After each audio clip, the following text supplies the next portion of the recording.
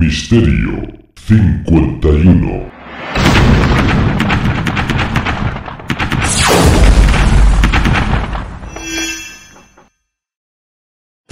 Misterio 51. 51.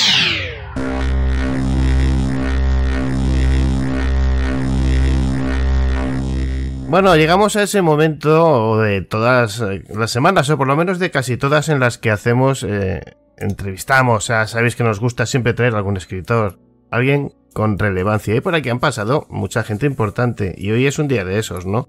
Vamos a hablar con un personaje muy interesante, con un trabajo aún más interesante, muy personal y de una relevancia, para mi entender, pues vital para el desarrollo de la cultura de, de, cualquier país, ya no solo del nuestro.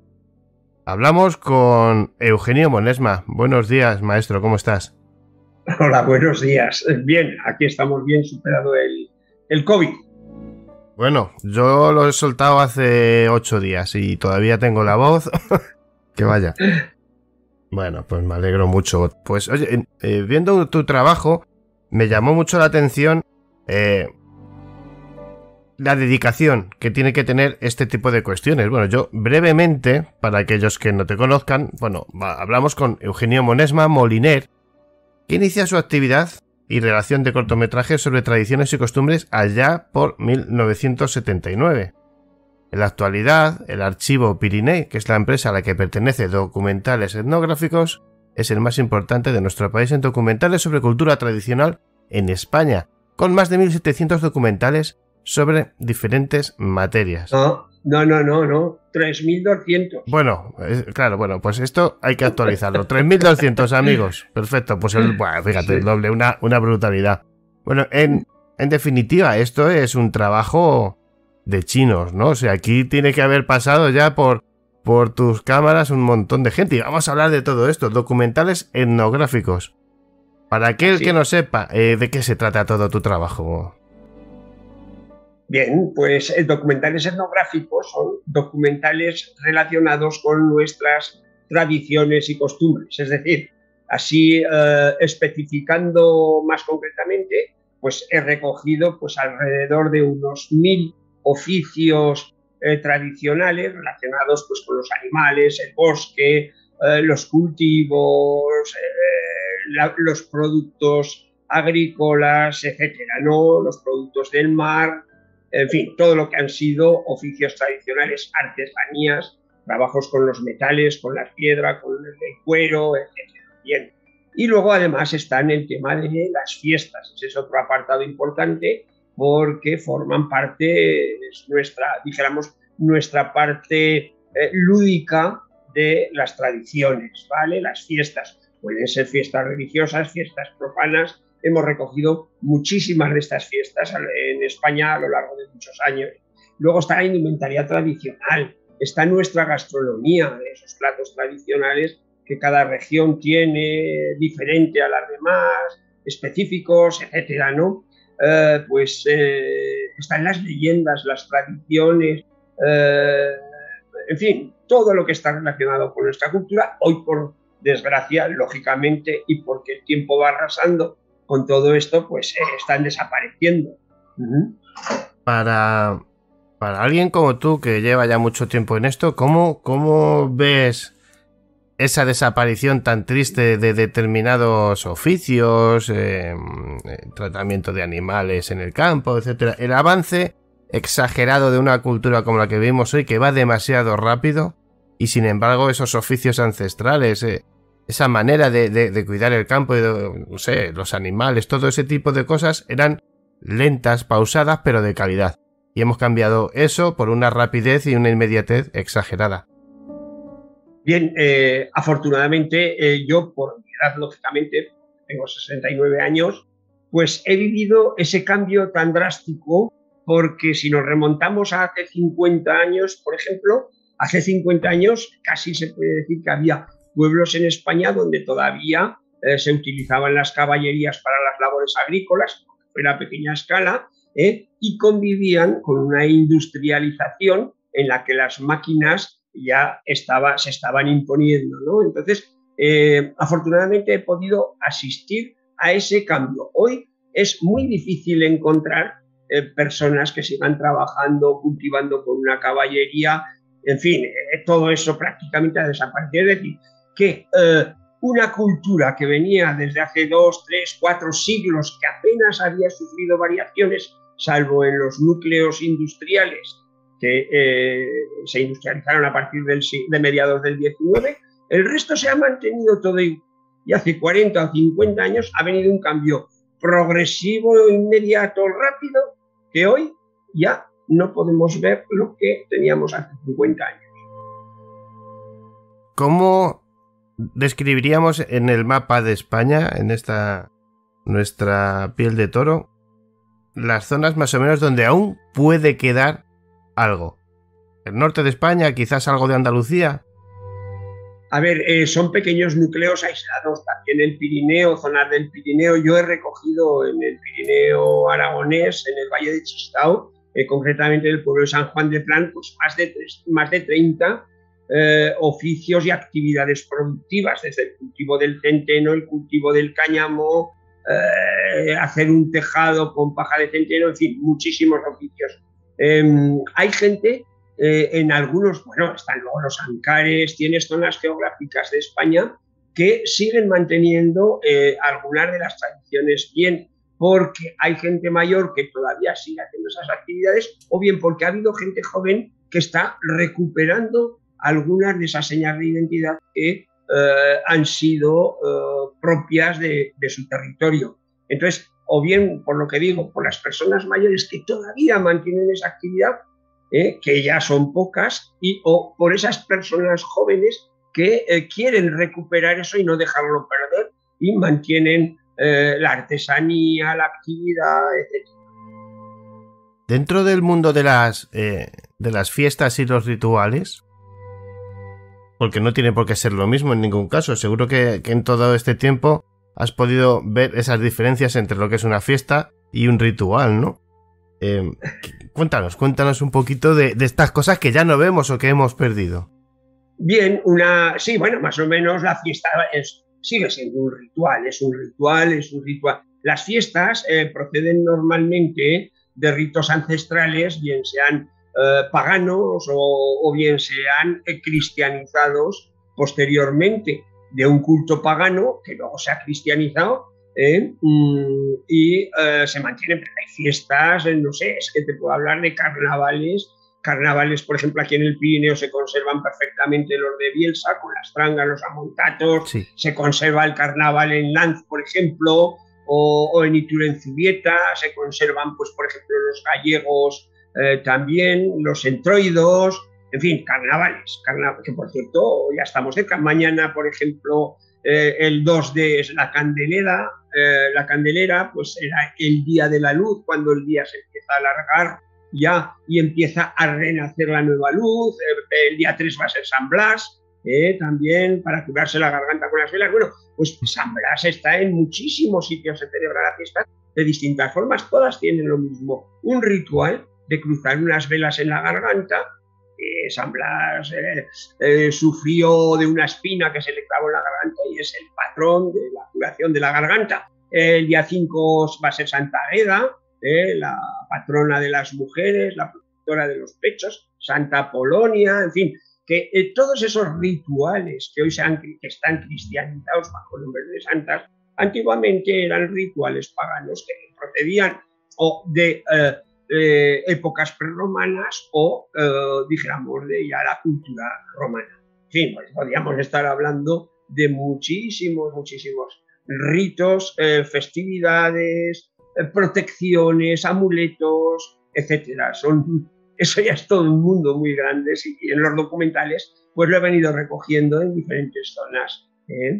Cuando, cuando estás, me imagino, en in situ, estás grabando, bueno, eh, vives, ¿no? Parte de esa fiesta. Eh, ¿Tienes alguna anécdota curiosa de la que podamos aprender sobre, no sé, que te haya sucedido grabando o, alguna fiesta de interés a destacar, ¿no? Que a día de hoy todavía podamos ver. Bueno, anécdotas me han sucedido muchísimas. Hubo una, porque hemos hablado de las fiestas ancestrales, fiestas con unos orígenes de rituales, pero también hay fiestas que se han generado. por ejemplo, cuando hicimos la película de las navatas, del descenso de navatas en el río Cinca en el año 83, montamos lo que era una navata. Una navata son unas grandes balsas, o almadías también, en otras zonas, mm, unas grandes balsas formadas por troncos atados y que se bajaban por el río y los hombres de pie encima conduciendo esas grandes balsas, ¿no? Entonces montamos un descenso en el río Cinca y allí fue muy curioso porque eh, contamos con los antiguos navateros, los que hacían este trabajo, y claro, había un problema, surgió un problema que era tres o cuatro días antes de hacer ese descenso, que habíamos construido una navata de tres cuerpos y otra de dos, pues surgió la duda de que qué ocurriría si había un accidente, quién se hacía responsable. Y rápidamente, pues eh, Ángel Gari, que era el organizador, el coordinador de todo, pues fuimos a las compañías de seguros y sí, sí, bueno, pues a ver, un seguro. ¿Esto cómo lo podemos calificar? Bueno, pues esto puede ser un deporte de alto riesgo. Perfecto, ahí encajaría muy bien. A ver, eh, nombres de los participantes. Pues fulanico de 70 años, menganico de 64. Claro, dicen, y claro, la compañía de seguros dijo, no, no, esto no puede ser. ¿Cómo vamos a poner en deporte de, algo, de alto riesgo a gente de 70 años? Bien, al final hubo una compañía que hizo un seguro. Y efectivamente tuvimos un accidente porque uno de los navateros en el descenso cayó al agua y tuvo la suerte que cayó en el río en una zona muy profunda, con lo cual no, no le aplastó lo que era la plataforma de madera, porque si cae una, en un tramo de río que no hay casi profundidad, pues los mismos maderos con su peso lo hubieran aplastado contra, contra el lecho del río, ¿no? Sí. Bueno, anécdotas muchísimas, en las fiestas, en todo, siempre. Fiestas ahí interesantísimas. La que muchas veces te habrá tocado, aparte de grabar, luego trasnochar. Con la, Ah, no, claro, y disfrutarlas. Perdona, luego ya dejas la cámara y hay que disfrutarlas la fiesta. ¿Cómo es, ¿cómo es el buen llantar eh, que hay todavía? Todavía tiene que quedar buenos sitios para comer a la antigua usanza. A ver, primero te voy a decir que tengo un programa en Canal Cocina que se llama Los Fogones Tradicionales. Llevo 20 años, que puede que sea el, el único programa de televisión sobre eh, cocina que lleva 20 años, más de 20 años en antena, en este caso 22 años. Los fogones tradicionales, yo recorro prácticamente eh, todas las zonas de España recogiendo esas, esos guisos y esa dijéramos, esa forma de alimentarse que han tenido eh, autárquica con lo que les producía la tierra y, lo, que les producía los animales de su corral. He ido recogiendo todos esos fogones, ¿sabes? O sea que, em, y es muy variada, o sea, tienes la zona de Andalucía fresca, eh, con rinran, todo fresco de, de la huerta, la matanza del cerdo, por ejemplo, la cantidad de alimentos y de guisos que genera eh, el matar un cerdo, toda esa fiesta en sí misma, ¿no? Más luego todos los alimentos que hay que conservar, métodos de conservación, etcétera. Eh, los pescados, por ejemplo, de secar los pescados. ¿eh? claro, la suerte. Me refiero que muchas veces cuando se hacen ese tipo de fiestas se, se aprovecha y se cocina como se hacía antes. Claro, yo tengo un buen amigo mío que es periodista y se dedica al mundo de los restaurantes y demás. Y yo se lo digo muchas veces, digo, sí, a ver, comes muy bien, pero tiene que haber algo especial en cocinar un chuletón en una teja, por ejemplo, en medio del monte. O, con, esos condimentos que se preparan, que ya no se preparan, pero se hacían hace años. O esa cocina antigua tiene un sabor especial de la que tú seguramente has podido disfrutar y bastante, ¿no? Sí, porque además los fogones tradicionales los hacemos en fuego de leña. O sea, dijéramos que el mar de mi programa de los fogones tradicionales es un hogar de leña, o sea, o una lareira, un yar, según el nombre que le dan en cada territorio, ¿vale? Ese es el marco. Y los guisos los hacemos allí a fuego lento, tranquilamente, sin ninguna prisa, y luego los degustas. Y por supuesto que cuando grabamos, la gente del pueblo te trae los mejores productos que tienen o bien en su huerto o bien en su corral. Eh, por ejemplo, pues el, el galo de mos, el gallo de mos, en, Galicia, con unos gallos criados allí, pero, vamos, grandísimos, unos muslos envidiables, ¿no? Sí, o sea, mm, eh, es diferente en el restaurante. Bueno, los restaurantes ahora, pues ya sabes que hacen cocina tradicional, pero de alguna manera reelaborada, diseñada para... ¿Y a eso cómo lo llaman? Eso que dicen ya que... la cocina moderna, si es que la cocina... es que no... Pero la tradicional está ahí, punto. Yo, y no cuando... tú, por ejemplo, perdón, disfrutar, por ejemplo, de ver cómo te hacen una mantequilla, desde ir guardando la nata, ta, ta, ta, ta, y luego batirla y hacerte una mantequilla y probar esa mantequilla. Yo, he podido disfrutar de la elaboración de la sidra en, Asturias, eh, tengo, tengo buenos amigos allí, he podido disfrutar de esa matanza o de ese pescado. De, de, de, esa manera de cocinar, sobre todo hay una fiesta que recuerdo que es la de las Turcón, que se van a, un monte a dos mil y pico y ahí están dos días, suele ser un fin de semana, te dejan subir con 4x4.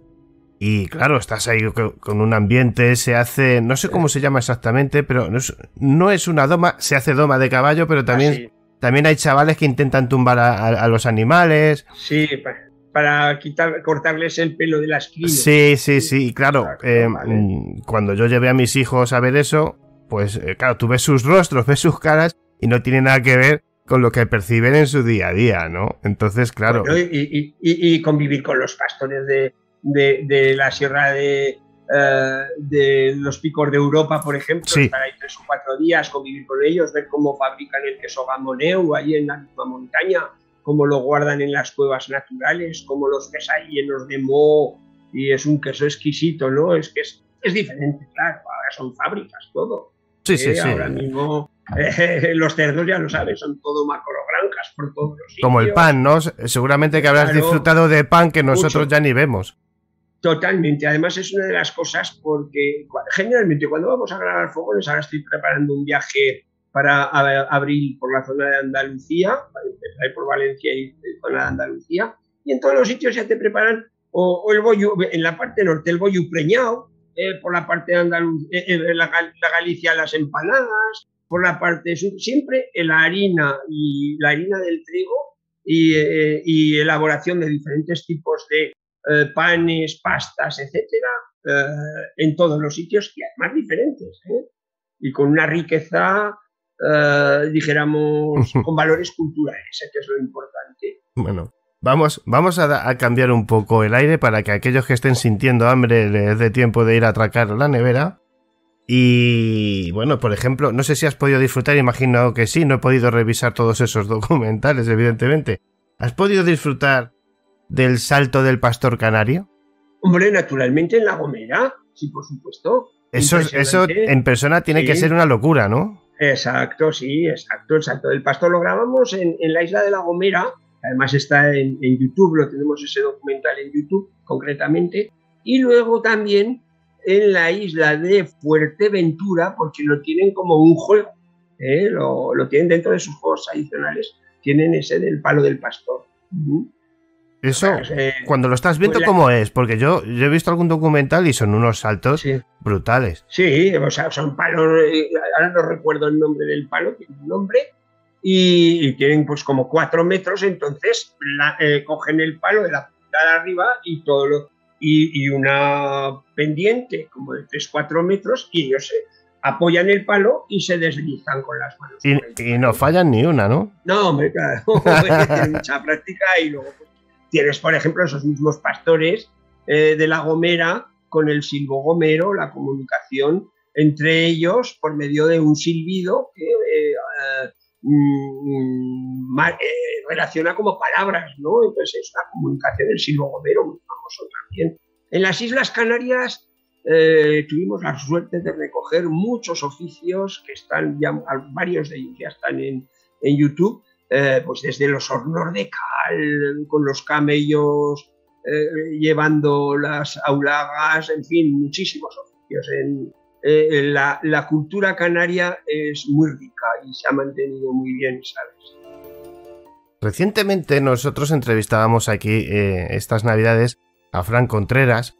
Es un periodista que ya lleva, pues no sé si me dijo, unos 13 o 14 viajes, bueno, caminos de Santiago de todas las maneras, formas y colores. Yo me imagino que tú has podido disfrutar también de, lo que es el camino de Santiago y de, además me imagino, quiero imaginar de la mejor manera, que es con ese ese comer y esa tradición un poquito oh, más antigua, ¿no? Pues me, me has jorobado porque no, yo no he hecho el Camino de Santiago, ni ganas tengo de hacerlo. No, Hombre, no, no, yo he a- ¿Un, a ver, trami- yo he un hecho- tramito? No, no. He hecho mucha montaña, en el Pirineo, en la sierra, y ahora salgo, mañana voy al monte también, bueno.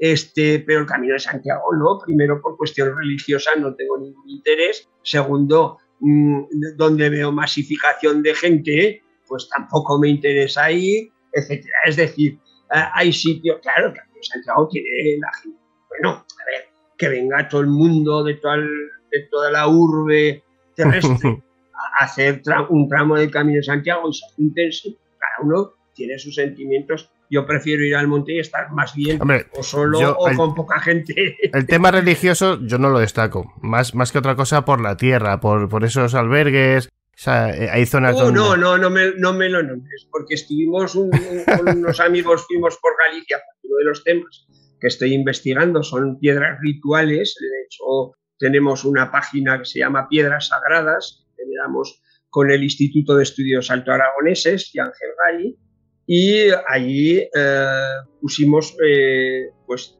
más- muchísimas eh, piedras que tenemos localizadas aquí en el Alto Aragón relacionadas con temas rituales. Bien, fuimos eh, por Galicia, un grupo de tres amigos, y el primer día ya íbamos a ir a un albergue. Dijeron, porque uno es del Camino de Santiago, un compañero de los que íbamos. Dice, vamos a ir a dormir a un albergue.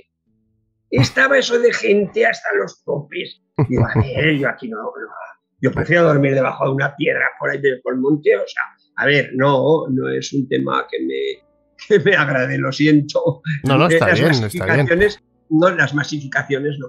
Bueno, dejando el camino de Santiago aparte, la, la cultura gallega, eh, en, Oh, en todo su esplendor, ah, eso sí, ¿no? Hombre, es, es, eh, la cantidad de rituales que se conservan. Bueno, en cuestión de lo que estoy tratando ahora, llevo ya pues 10 años trabajando porque tuve un programa en Aragón Televisión que se titulaba Los secretos de las piedras y, y es un tema que estoy trabajando a fondo y, y la verdad es que Galicia se conservan muchísimas leyendas, luego los petroglifos, una cantidad de petroglifos por todos los sitios, piedras de serpe, etcétera. O sea, es muy rica en leyendas. Luego, claro, todos los eh, castros que tiene a las orillas del mar, en fin, todo ahí, eso, es todo un mundo de leyendas. Luego también estoy muy en contacto en Galicia por el tema de los lagares rupestres, porque Galicia eh, y el norte de Portugal, la zona de Valpasos, eh, han, eh, bueno, y la zona de San Esteban de la Sierra, también de Salamanca, han investigado mucho sobre eh, los eh, lagares rupestres y yo estoy investigándolos aquí en la zona norte de Aragón. También eh, es otro tema que también estoy trabajando. Pues vamos a pasar ahora al mundo de los oficios, que yo me he divertido mucho. Ahí sí que me, me he visto unos cuantos documentales tuyos. Sobre todo me gusta mucho la herrería, cómo hacen esos, esos hachas todavía a día de hoy, cómo los restauran. Em, creo que tienes uno con un señor ya bastante mayor que están los dos hijos mayores ayudándoles, pero ahí dándole duro para hacer un hacha, no sé cuántas horas se tira. Sí. ¿Cuántas horas de grabación te pegaste, por ejemplo, con este hombre? No, güey, puede ser una mañana. Una mañana te hacen un hacha. Es, no es que tienen muchísima práctica o te hace unas tijeras de esquilar o te hace, eh, hombre, el que más trabajo llevo fue hacer una barrena para eh, agujerar los maderos, ese sí, Mm. porque hay que hacer la punta, el gusanillo que se llama, y que eso requiere mucha, mucha precisión, eh, etcétera. O sea, ese era el más difícil, desgraciadamente. José Lo Ferrero, que es del pueblo de Hecho, en el Pirineo Aragonés, pues eh, ha sufrido una enfermedad y hoy prácticamente está bastante nada, prácticamente retirado, ¿no? Pero en fin, los hijos parece ser que siguen con la actividad, es lo que te comentaba antes, ¿no? Que, eh, que viene otra generación que no quiere dejar perder esos oficios que han hecho sus, antepasados. Te voy a poner un ejemplo, por ejemplo, el forcaire, el que hacía las forcas de madera, es curioso porque el nieto del forcaire en el pueblo de Alentor, en Lérida, eh, el, nieto ha retomado, y eso que es un, una persona con eh, carrera, o sea, creo que es matemático, y, y, ha retomado el trabajo de su, padre, de su abuelo y en los fines de semana se dedica a hacer orcas y a ir por los mercados y vende las orcas. Quiero decirte que es mm, el saber valorar eh, lo de, eh, la parte importante de su tradición familiar, no dejarla perder. Y eso también lo estoy viendo en algunos sitios. ¿eh? Yo cuando, cuando veo esos dos trabajos que haces, para mí yo me acuerdo de eso de oír, ver y callar, ¿no? Eso de verles trabajar. Pero, ¿has podido tú involucrarte en alguna fabricación de, algo de barro o de metal en, alguno de estos documentales? No, somos muy torpes. ¿eh? ¿eh? a ver, y acabar de decir el barro, tú ponte en un torno con, con un bolo de barro y a ver si lo sabes mover. No, mira, por saborear un poco esa tradición, ¿no? Pues claro, lo intentas, pero una chaza, pues estropeas el material. Imposible. Claro imagínate un hierro rusiente y darle ahí con un martillo, lo vas a deformar, lo vas a estropear, eso es absurdo, claro, somos muy torpes para eso. Ellos tienen mucha habilidad, te cuenta que la mayoría de los artesanos eh, proceden de sagas familiares y esas sagas familiares, pues desde niños han estado viviendo y conviviendo con ese oficio y con ese trabajo y desde pequeños, pues eh, yo por ejemplo era hijo de carpintero, me acuerdo que mi padre me decía, toma, calienta la cola. Y era la cola aquella que se hacía eh, marrón de una pasta y la ponías al baño María y yo estaba con la católica y echando virutas de, madera para mantener el fuego y tener la cola caliente para que mi padre pudiera trabajar. Claro, es, sí. Dentro del mundo de los oficios, eh, bueno, pues eh, los más habituales todavía los recordamos, pero seguro que hay alguno por ahí que te acuerdes así especialmente raro del que apenas se hable. No, raro no, pero importante que, costó de, no costó nada de, conseguir y era complejísimo, que es la fabricación de un carro. Estábamos haciendo, estábamos grabando en el pueblo de Quintanar de la Sierra, como se hacía la pez, ¿eh? a partir de las teas de pino, etcétera, etcétera.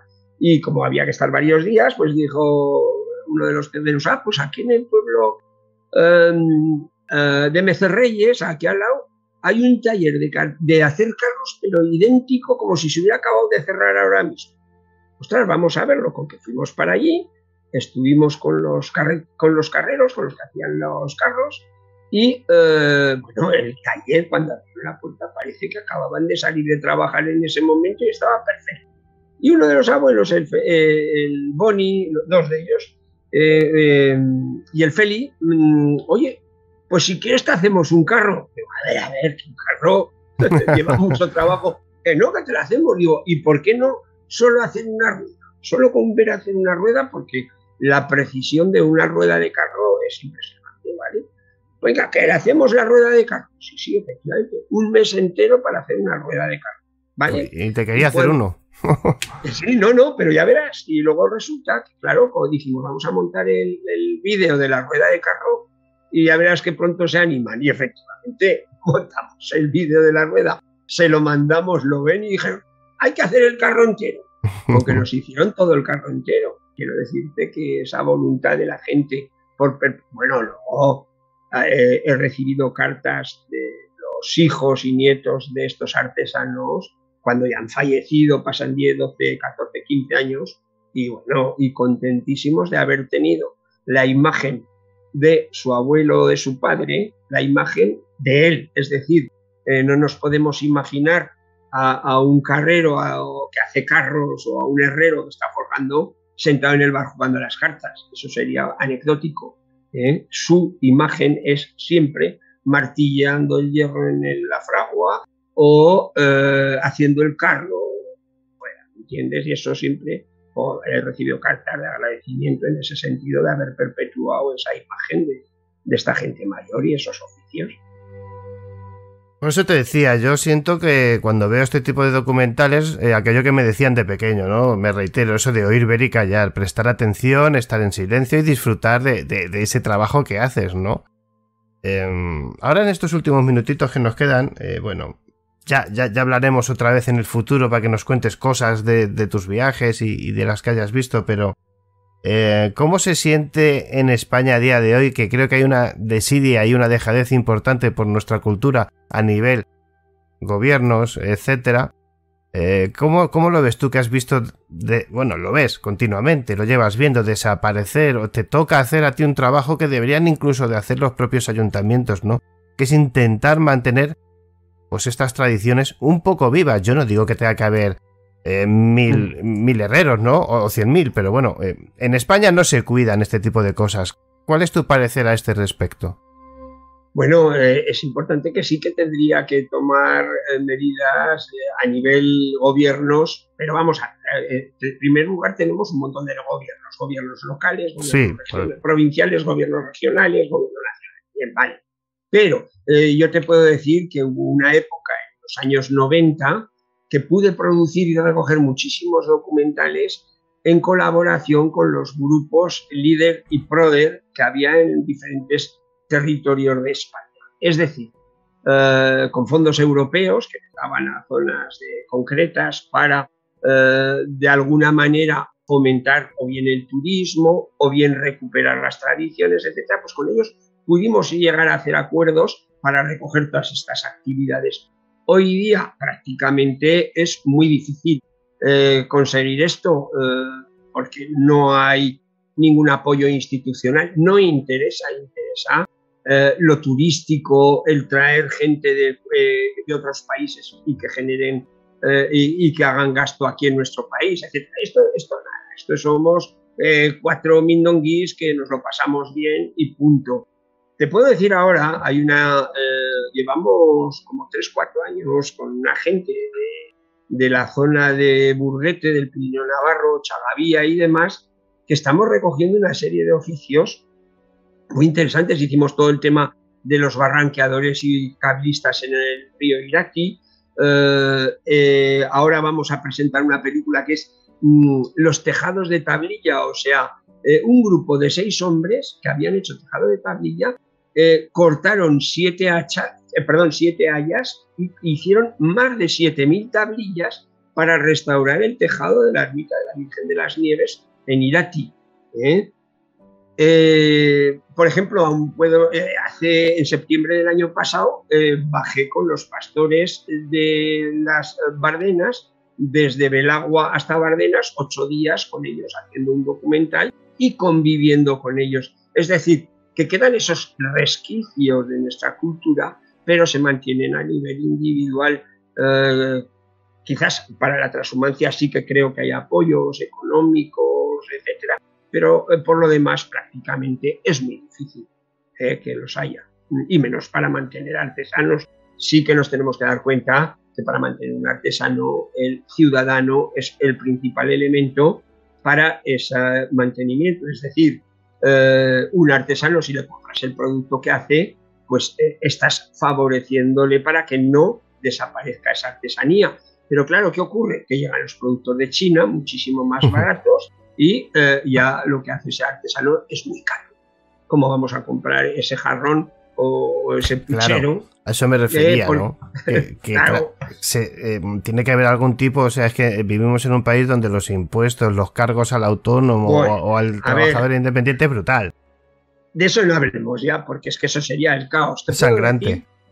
Total, eh, te digo un ejemplo, y bien próximo porque lo, lo, vivo muy a menudo en el Pirineo aragonés, yo suelo ir al Pirineo, en montaña y tal. Entonces tú pasas la frontera a Francia y tiene los pastores que están haciendo el queso en la misma chabola y lo venden ahí el, queso.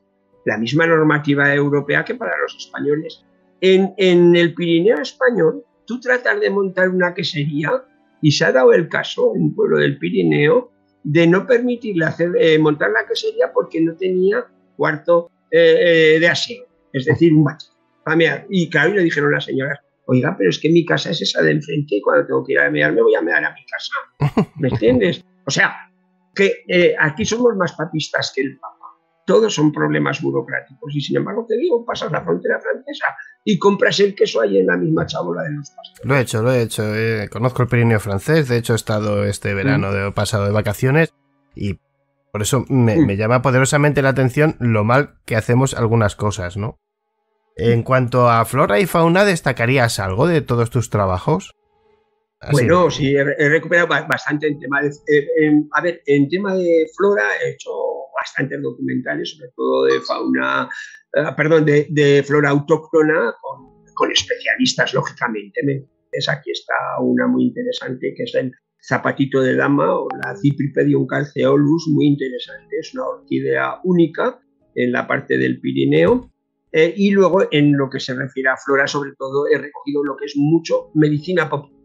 Eh, la medicina popular, el uso de las plantas en la medicina popular. Vienen en plastos, vienen eh, en infusión, en diferentes formas, ¿sabes? Incluso la trementina, por ejemplo, el uso de la trementina, las gotas de, la resina de los abetos que se recogían con un punzonito y se iba y metían en un cuerno, pues esa, eso era impresionante para la curación. Por ejemplo, los hornos de aceite de nebro, pero también cómo se hacían los hornos de aceite de nebro para curar a los animales, muchísimas cosas. Y en, fauna, sí que en los años 89 o así hacer algunos documentales sobre los buitres, el quebrantahuesos, el bucardo, eh, el sarrio, en fin, sí, bastante sobre, bueno, eh, uno muy interesante eran sobre los urogallos, el, uno muy curioso porque era un señor que se dedicaba a recoger los huevos de las hormigas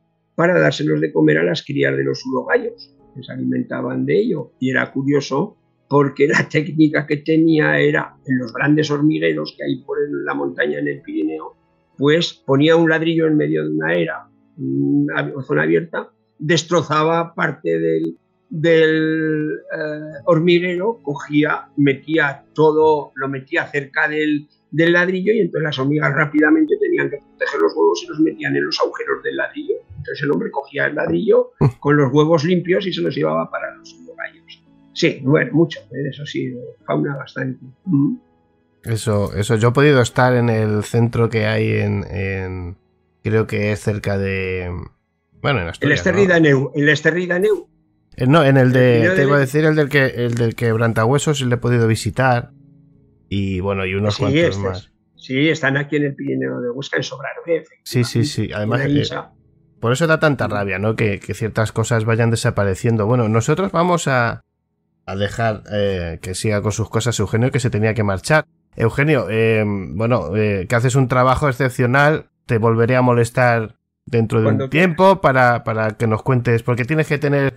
A mí es que las anécdotas graciosas me encantan. Yo no sé si tienes alguna graciosa por ahí que te haya pasado algo en plan curioso. Para terminar.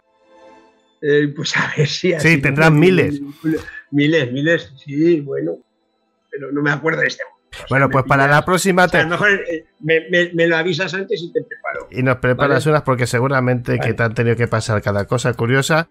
Espectacular. Bueno, el cuidado de nuestra cocina, de nuestros oficios, de nuestra, no ya religión, sino tradiciones eh, en, España, que, que tenemos muchas y muchas de ellas, pues por desgracia, están desapareciendo o desaparecen con los últimos oficios, ¿no? Así que yo creo que haces un trabajo excepcional que espero que puedas hacerlo mucho más tiempo y que después de ti lo continúe alguien, porque estás dejando una herencia para todos aquellos que pueden disfrutar y hoy día gracias a YouTube y un montón de servicios de este tipo se pueden ver y de una manera gratuita. Así que amigos, tenéis que apoyar este tipo de trabajos. Eugenio, antes de irnos, rápido, ¿dónde podemos seguirnos? Nos has comentado el canal de cocina, nos has comentado Sí, bueno, los fogones tradicionales, si miráis en internet, los fogones tradicionales, bueno, tiene, ya te digo, llevo 22 años y es el, el, programa de cocina más longevo que hay en la televisión. Ya, hay riñanos y todo, pero han cambiado de cadenas, han cambiado de programas.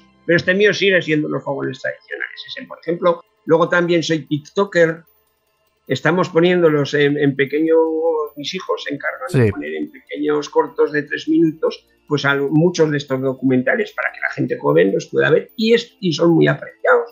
En fin, y ahora, bueno, luego tengo la página de piedras sagradas, que es un tema que estoy trabajando muy a fondo, todo el tema de piedras rituales, hemos hecho dos congresos de Sacra Saxa, piedras sagradas, en fin, eh, mucha actividad. Sí, bueno, si entráis ahí, veis a Eugenio Monesma y en, pues en Google, pues ahí Sí, nosotros en el vídeo, yo ya te lo pasaré, tanto en el vídeo para YouTube como para el podcast, sobre todo en YouTube, lo que hacemos es reunir toda tu información y la publicaremos. Em, Eugenio, un placer, muchísimas gracias por enseñarnos un poquito de la cultura de nuestro país. Y, bueno, lo, dicho, te molestaré, no sé si en un mes no o en dos. Molesta. No y, y, que nos enseñes más cosas. Un fuerte abrazo, maestro. Igual, a vosotros gracias.